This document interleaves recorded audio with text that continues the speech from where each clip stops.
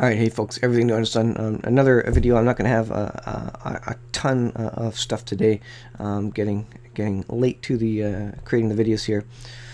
Um, but this one is another significant one that I saw on RaptureReady.com. Um, this is the GatewayPundit.com, and this is in uh, relation to November 4th, which is the grid down situation testing, the blackout testing. Let's have a look at it.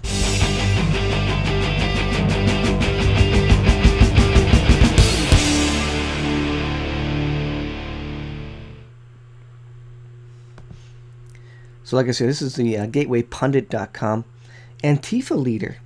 November 4th, which is the same day as the Department of Defense uh, drill, the blackout drill, where uh, you know they're going to drill that the whole country goes into a blackout due to uh, you know a solar storm. Um, interesting that um, this whole uh, protest thing is scheduled for November 4th.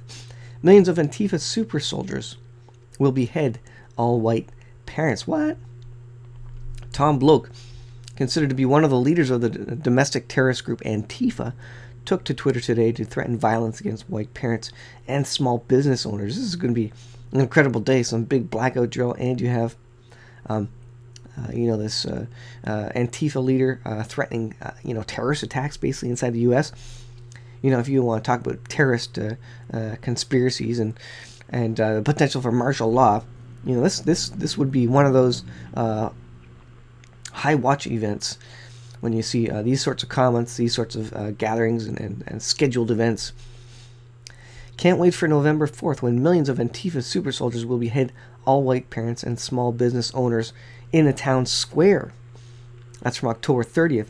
Adding to the open display of anti white racism and coupled with violence against small business owners for whatever reason, the top rated reply doubled down.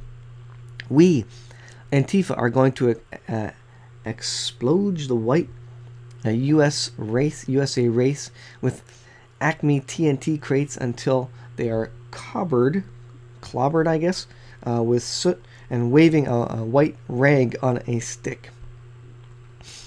Update far left radicals now claiming it was a funny joke.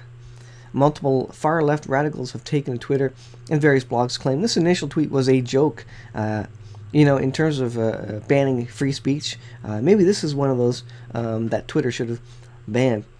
As written to MIC, Twitter user Tom Bloch is not only a um, not only a thought leader of the far left, people on the far left who push certain ideologies, or in the case of normalization of anti-white violence rhetoric under the guise of humor, among his followers uh, and the people who retweet Tom Bloch are far left Teen Vogue writer Lauren Duca and Colin Taylor managing director of Occupy Democrats. Democrats.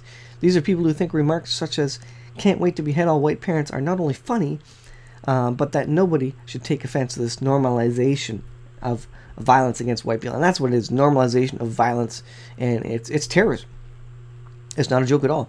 It's called, it's it's just uh, you know it's the same tactics as ISIS uh, terrorize people just by putting thoughts in their head uh, that something uh, could happen.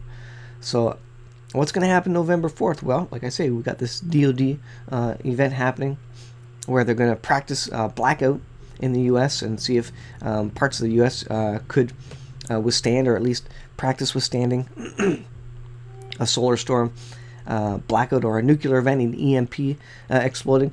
And then you have these protests planned by Antifa for November 4th. So interesting stuff. I mean, there's so many interesting dates that are coming and uh, we'll see what happens. Um, be prepared. You need to know the Lord Jesus Christ as your Lord and Savior. This is the uh, ultimate way to be prepared. And above that, uh, you never know when uh, uh, the, the economy is going to collapse. You never know when uh, the government is going to collapse. There's going to be major protests and, and they're going to bring down martial law or something like that. That's inevitable. Um, with the U.S. falling as a world power, um, slowly coming down, we're going to see a rise in violence. The Bible also speaks of these things.